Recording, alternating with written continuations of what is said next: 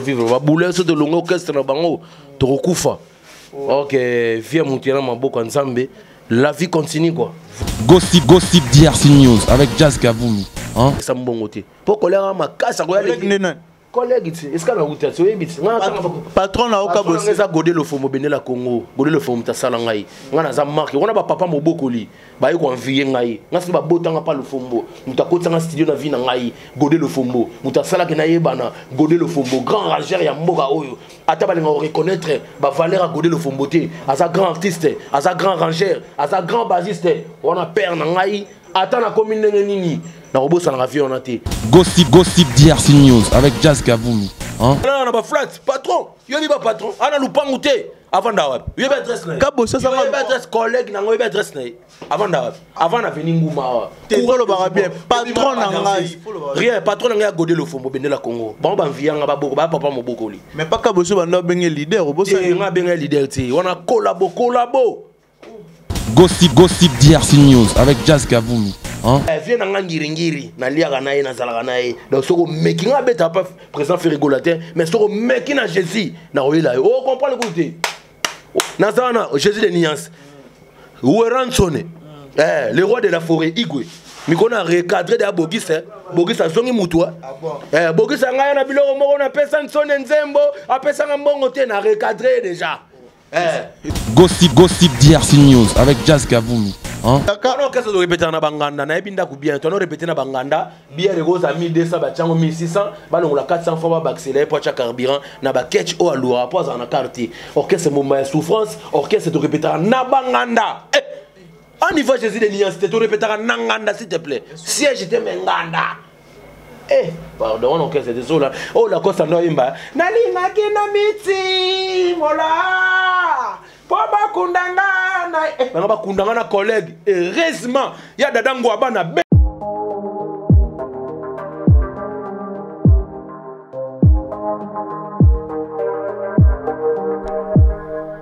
Si vous souhaitez perdre du poids, avoir un ventre plat sans effet secondaire, Herbalife Nutrition est votre solution. Commencez votre challenge de 21 jours par un petit déjeuner, boisson nutritionnelle, herbal aloe vera, boisson instantanée à base de thé. Le coach Roger Winner fera son suivi sur petit déjeuner avec trois produits de base Herbalife Nutrition, idée recette, plan alimentaire, un chat 24 heures sur 7, un entraînement en ligne sur Zoom, bien évidemment pour votre bien-être. L'utilisation de produits et quand il faut le boire. Si vous êtes partout en Europe, en Asie, en Amérique, en Australie et en Nouvelle-Zélande, le produit vous sera délivré en temps réel. En Afrique, le produit est uniquement disponible en Afrique du Sud, au Ghana, en Namibie et en Zambie. Et même si vous souhaitez avoir un revenu supplémentaire, faire du business en ligne, pour plus d'infos, contactez Roger Winner en indiquant le pays où vous êtes sur Facebook, Instagram, Snapchat, téléphone. Le numéro de téléphone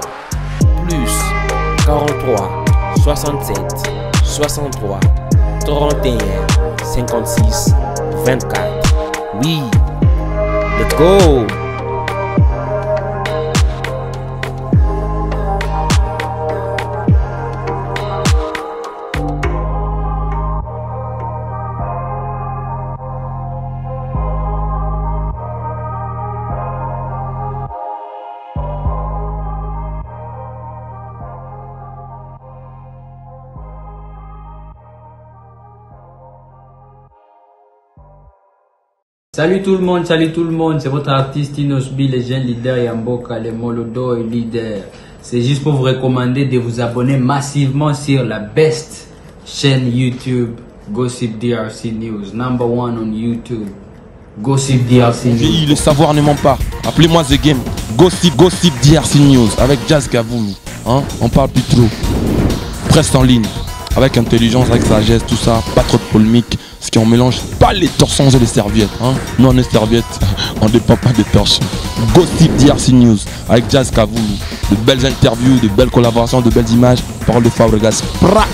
Bonjour, alerte générale, abonnez-vous sur Gossip RDC Jazz, Tokos. Gossip RDC News, les boss, les boss, ah. Ah, merci vraiment na bato tout bakobeta libaku ya kolanda biso lelo na gossip drc news la chaîne pas comme les autres nde tolobaka que mélange jamais les torchons et les serviettes vraiment un grand merci na bato tout badisposaka temps mpona kolanda biso bato ba commentaka surtout ba video na biso puis ba to ba partagera ba commentaire na bino to rozala nango vraiment vraiment besoin tout au long cette émission to reparler tout sauf rien vraiment un grand merci aussi à Jazz Kavulu papa Zahir mais avant na dédicacer ba to tout ba linga biso na kolinga beaucoup plus na nos invités langa naza na ye lelo naza bongo na rwanda ka paracommando amela grenade c'est-à-dire que tokomeka kosolola tout sauf rien nayebi te sami soki okofongola vraiment naza lelo na roi ndaka bonjour roi ndaka bonjour bonjour bonjour tranquille nde ningo ya kala très bien bongo yo mpe ah, yo ozomonaka c'est la paix du cœur moto azwaka salaire ayebanaka donc eh, nzambe aza na contrôle nzambe azocontrole makambo na ye donc tozovivre babula so tolonga orchestre na bango tokokufa ok vie ya moto yana maboko ya nzambe la vie continue quoi voilà voilà rwandaka me ngai nayebaki oza jeune moko obagaraka makasi chaque jour na tv chaque samedi chaque dimanche tondo talona bémission mais depuis kaka olongwa pembe na kabo ese bolembi ondire okota mai uswa te kodinda na yo nde yango wana emonana euh, l'artiste ne meurt jamais Vous comprenez euh, Rwanda ka na webisa nanu ba fanatique tout, ba mourir de la bonne musique pour na respect na bino na pesi na bonjour na internet tout, na pesi mbote na ya dada ngwabana, na pesi mbote na le maître de votre maître Berado prince des Amunda, na pesi mbote na Lasconi. Lasconi Mbunza, na pesi mbote na Dani Muzombo, Dani Muzombo. Na Grenoble wana donc Rwanda ka yo tabu fatu top modèle, na pesi mbote na lisi salai napesi mbote na ntemologie peuple mundibu napesi mbote na leon mboma leon mboma mokonzi autriche voilà quoi donc euh, rwanda kaza na ye rwanda kaza na studio si bomoni rwanda kaza omonana te rwanda kaza na studio azopreparele bino marxi single le temps de sacrifice dans sabazoka yango nabungaki danse nini danse ya bazoka la danse la plus facile ça se passe en marchant yango nabungaki so omoni nazongeli bémission boye donc plein ekomi deya na suka nakomi na temps badédicace donc oyo alinga bima na marsi single oyo danse ya bazoka abenga na plus 243 81 89 72 958 plus 243 ya wili musheni code mondial 81 89 72 958 soki obengi oyambi nga mo rwanda ka bureau te nga moko mpo obima na plan na biso voilà quoi rwanda kazali donc kala mingi te nazozongela ba tv wana alinga koleka tv te nazala kaka bava makelele sans support eh, lokola support donc ça bazoki ye eza 200 donc eh, voilà quoi voilà danse ya bazoka mais nga nga na olinga oyo mekozongisa biso mokie vraiment mpo bato bacomprendre ke rwanda kao bayebaka wana yeyo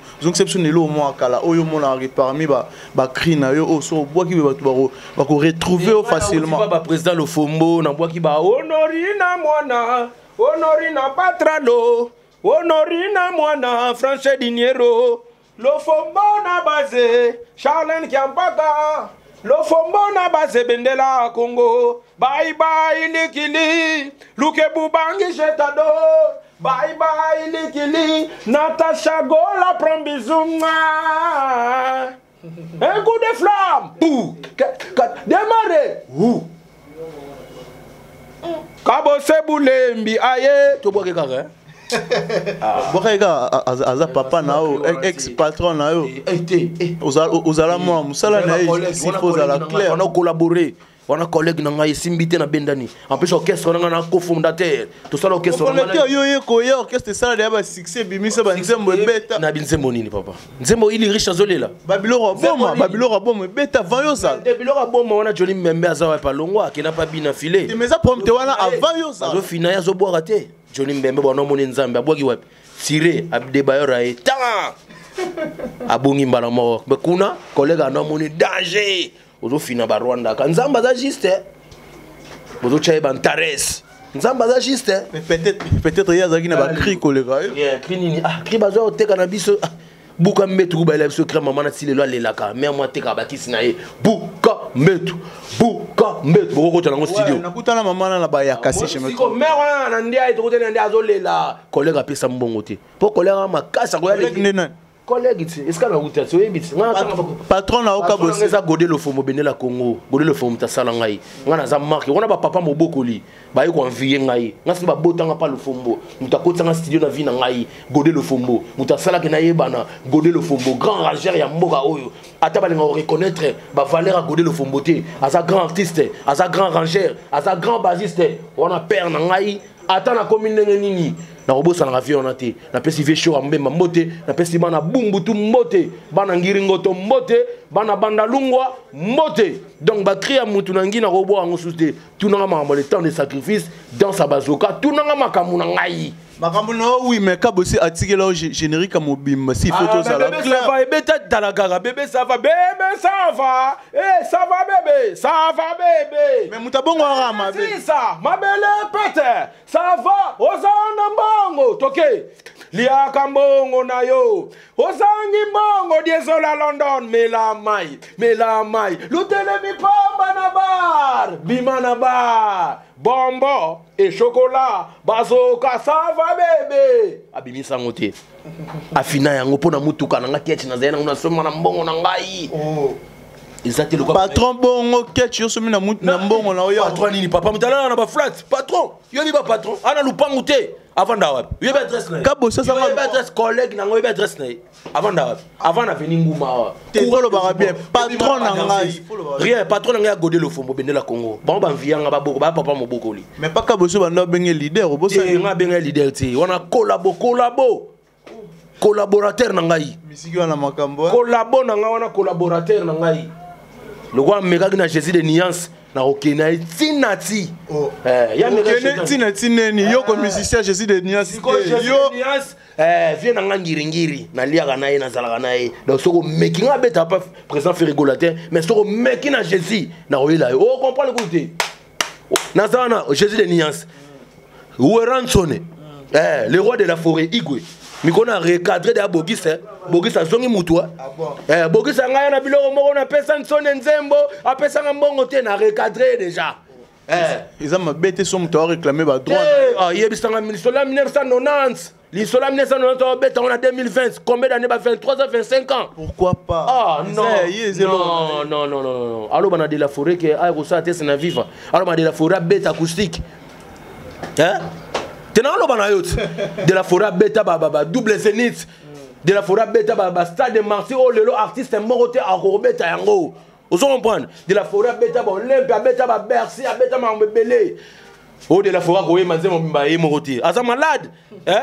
na besi demi tour na village natal mokili monde ya surprise mama ngai nayebaki te o oh. balinga nakomisa bandeko nde banguna na ngai de la foret ayemba yango ye mokala soki ozoluka base en plus ye mpe akoma na ye soki politicien bogis bogis nazoyebisa yo bogis nazwi su makambo na yo mm. bogis bompema loko omeki na son excellence ambassadeur de la paix igwe nazwi su makambo na yo bogis wana faux chanteur bogis chanteur ya ba demi ton bogis chanteur ya ba hors gamme bogis osalaka album a ebeta wapi bogis yo bogis faux chanteur nakosenga na kobukana te oyebi kende otouche da de la fourier nde otouche papa cheria kolanda no kutu te otouche da papa cheri baa bamasta komeka kute bamasta bandeko famille libota donc kobukana te kende osenga son excellence ambassadeur de la paix pardon sala yango mpe na tv sala yango mpe na bafacebook esoki osalaki yango wana tokolimbisa yo mpe soki okontinue omona mpena na poto wana omonaka base moko ya olia yo ye faut baporte plainte ata na mairie na la police na mairie na mikili wana voilà mais rwanda kaka nayebi te aza na corona te par exemple aza na corona te maladi ya pema corona ezwi bogisi te par exemple mais nayebi te komona yo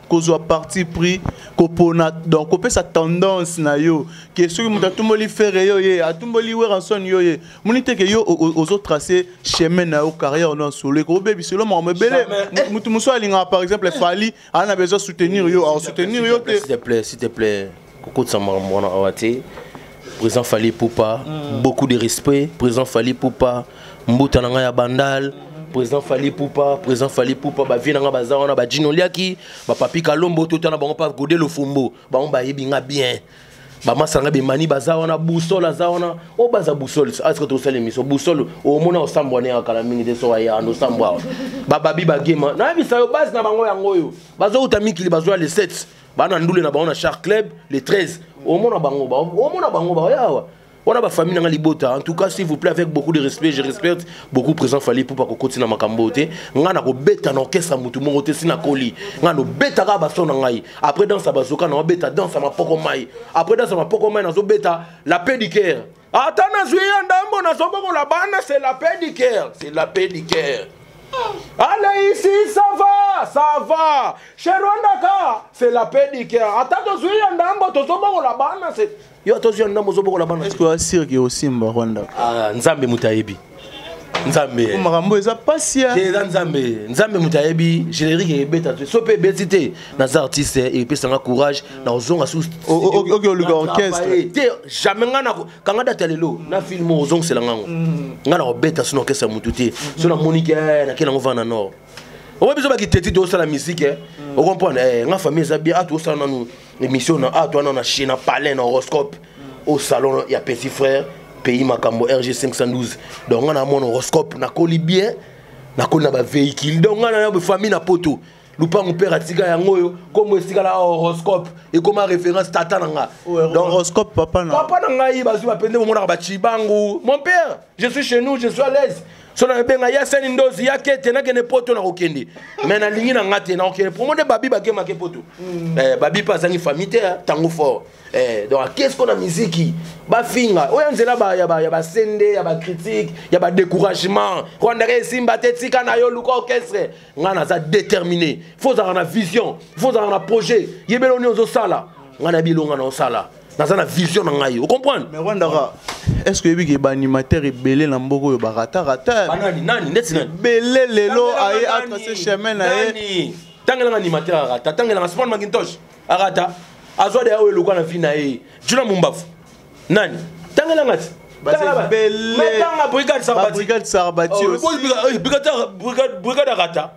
Ah. abetaka lisusu oh, papa tosola oyo oh, oh, eza vrai sikoyo artiste na esakoli artiste ne meabeti de biloko abu ah, alimo ah, eh, aza na poto aza na poto akino aza na opération baopere azoya abeti fitiri mona nasda omoni bino artiste akufaka te lobesu mpoto aza non lobesu bakanga ye obi te lobesu bakanga ye abima déjà pour ton information sikoyo soki abima déjà azoluka banzela na kende mikili azoluka banzela na ye poni toluki kaka orchestre moke ofanda na yo na orchestre ya mutu te ngai nasali orchestre te bana beso basala baorchestre babrigade basala baorchestre ngai nazanga mona asala orchestre eza pasi mon frère kosala orchestre namona collègue ndenge azokemba azobimisa bambongo na poche koloa instrument azokima na bato ya bainstrument rep evide pa akimi eh, collègue azokemba nazoyebiso na tel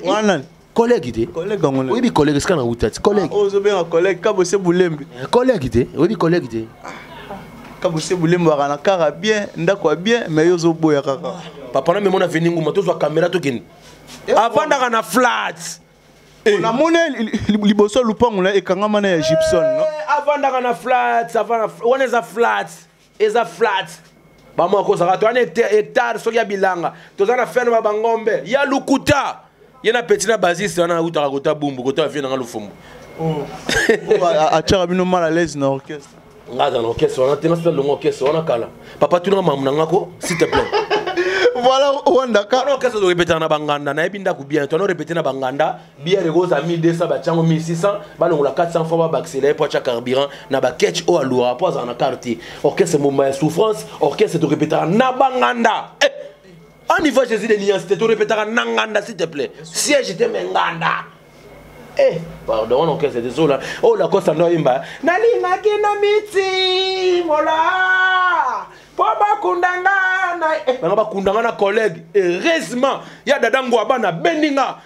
Heureusement, Dani Muzombo atali Rwanda kaka kufa. Ah, yango koma okotela fere mpo baya dada ngwa bana bana nsima na yo. Natala boye Fanta Fofana, la diva, lettre F, abendi nga Rwanda koko kufa pamba. Sala chemin na yo. Maestro Fabro atali nga boye. Hmm, yo za mbila. Yaba. Top, ba péché nga. Sala vie na yo. Qui est derrière toi? naza nsima na yo jésus christ boloko ndaka nayebi te eloko ozobimisa eturo okomo lango le temps de sacrifice danse ya bazoka la danse la plus facile ya dada ngwabana ya claude lukebakweno boilistrele biso affiche wana eh, affiche yango affiche oyo euti autriche affiche oyo euti autriche merci na lasconi eh, mbunza merci lisusu na temologie peuple mundibu temologie peuple mundibu mpo na affiche osaleli ngai Merci beaucoup. Léon Mboma mokonzi ya Autriche. Merci beaucoup. Lisi Salai, Lisi Salai Nsunga Mputu, Lisi Salai Nsunga Mputu. Merci beaucoup na soutien. Tabu Fatou top modèle. Tabu Fatou top modèle. Merci beaucoup, merci beaucoup. Na noso bozo sala quoi. Donc euh, Eva Moari, Eva Moari Saint-Esprit, Eva Moari, Eva Moari. merci ya trop donc affiche euti autriche mhm. eza na bakalite oyo ezaka affiche mo totie kaka mpo na annonce eh. clip de esalami eh, clip se esalami oyebi yo oyebi mama misiki te mhm. clip okosala yango mpe na makete eh, oyebi clip se esalami mpe bebe pichu bidiongo franci real clip ya kafu oyo kabose banga banda carrière nasala clip ya marco te yango nini yango ezalaka na kabose abomela motu alinga mwasi na yo collègue banda banda carrière na ye nana asala clip mo nasali te entout cas vie nanga pichu bidiongo merci napesi merci merci na ya claude lukebakweno ya dada ngwabana fils kelele na mbongo botindaki nasali clip ya 1500 dollars naye soki eza blague te donc bato ya jésus de nuance bazosoutenir vraiment rwandaka eh, ya dada ngwabana merci dani muzombo merci eh, lasoni mbunza merci beaucoup na clip oyo nasali ya qualité oyo collègue banda banda carrière na ye nasala clip ya bongo te eh, clip otala ngo na trace kitoko nazoyebisa yo eh, sini mpe na makambo napesi mbote na itel gombe bos de bos itel gombe ya trace kitoko napesi mbote na manager na ngai zakari mwamba ya kisasa awa zakari mwamba petit zacle maître cicero bakumba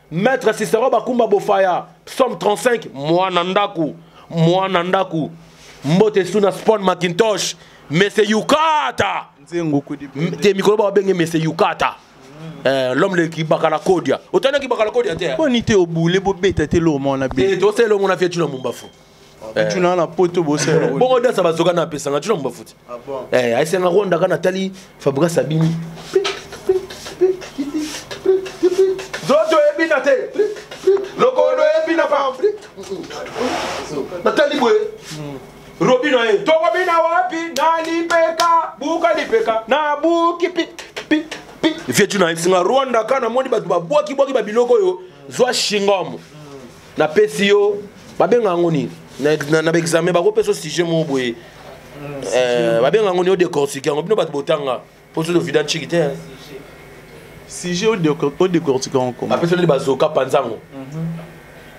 babenga yango nini nini ah, nini badecortike bazoka wana jikel mundele Jigel Mundele, grand coiffeur dans salon des touches. Mm -hmm. euh, Brad, Jigel Brad, donc euh, décortiquant donc mon frère na jona mbafu aza na mikili masi esanga rwanda kazwa bazoka yango na décortiquaki mhm. oyo alie bazoka te kopusa na pembe na sheri te oyo ale shingome te kozala presa kosolola na bato te nango mopanza somba bazoka liya bazoka epesaka saveur na monoko elongolaka solo ya monoko totafuna bazoka toliya bazoka alayisi bango ça c'est la nouvelle danse ça c'est pas ça machin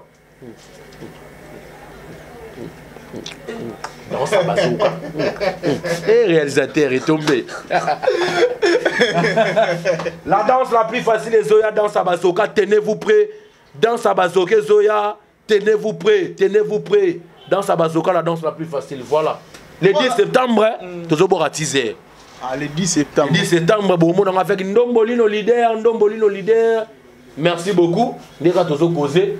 Ndombolino mutazo partager donc. Euh, bozo zongo déjà ndombolino leader les 10 tobora teaser na opesa ngo bino bochango pe na bani na bino nde ezala kaka euh, bon mon savoir faire Rwanda kazo chambanga ya pamba te asali musala bien nazo travailler na euh, masta na nga neymar sente ouais, donc euh, neymar. neymar sante pardon neymar sente ye moto asimbi makambo mwa bokozwa son ya makasi oki libanga ti ale bato mosusu nabwaka bango bapesanga mbongo ndambwe batikala na bambongo na ngai oyoka yango eh? okoma te ngai nakoma te oh, o oh, naza wana ale bato mosusu nabwaka bango eh.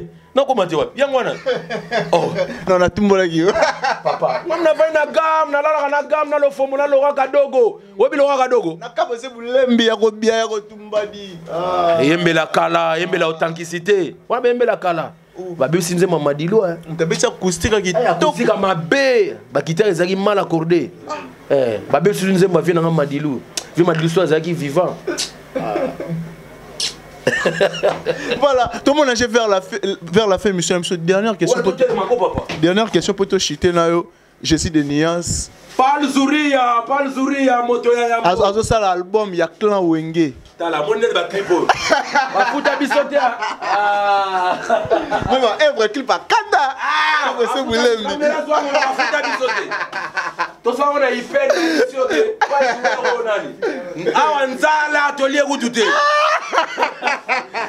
lengo lengo bafuta biso te mais ekangaki eh, hein.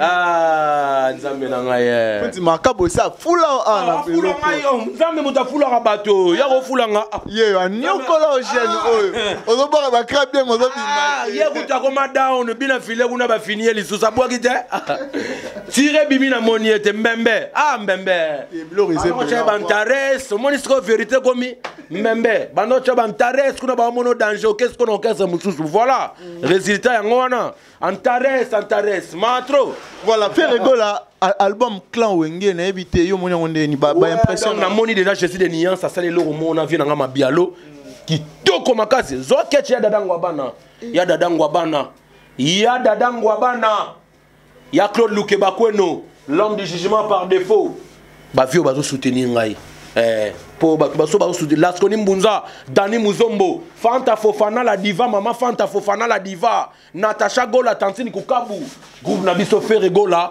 poto na poto mwa bato bazoyede ngai basali batie bambongo na bango tosali clip ozo comprendre bapusi bambongo na bango nasisa studio kozala ingrand te ata na nakute na jésus te yeba ke so namoni déjà ya dada ngwa bana namoni général fils kelele yeba komoni deja jésus ah, so omoni lasconi mbunza omoni dani muzombo omoni natacha gola omoni deja ferri gola ocomprendre mm. napesi mbote na nesha pindi plein de grâce nesha pindi napesi mbote na ice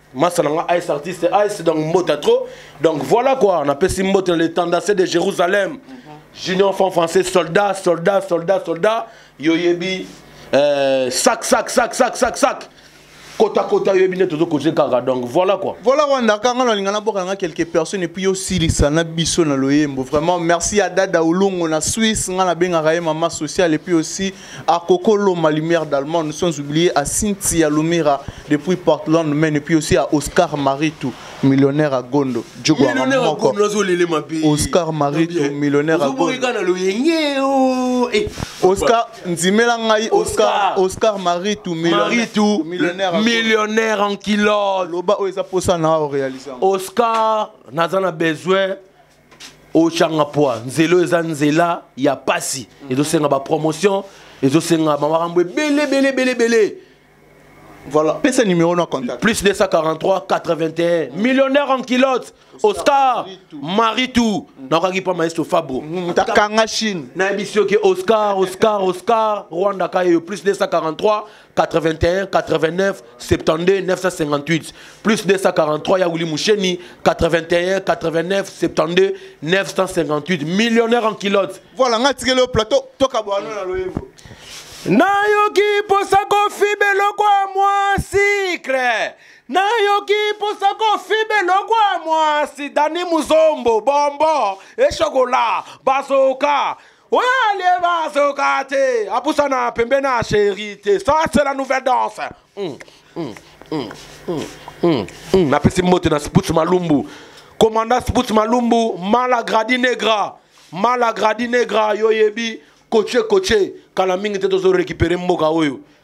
bazondima te mais merci na ya dada ngwabana merci na fils kelele merci na natacha gola merci na fere gola poto na poto groupe na biso jete manzumbu awa mpe towana salon de touche pas pays makambo rg 512 lipasa didier horoscope directeur coache coache didier horoscope napesi mbote na kete amza fatilau anderson chimina ordre du léopard autorisa tiwe champion business yoyebi à suivre check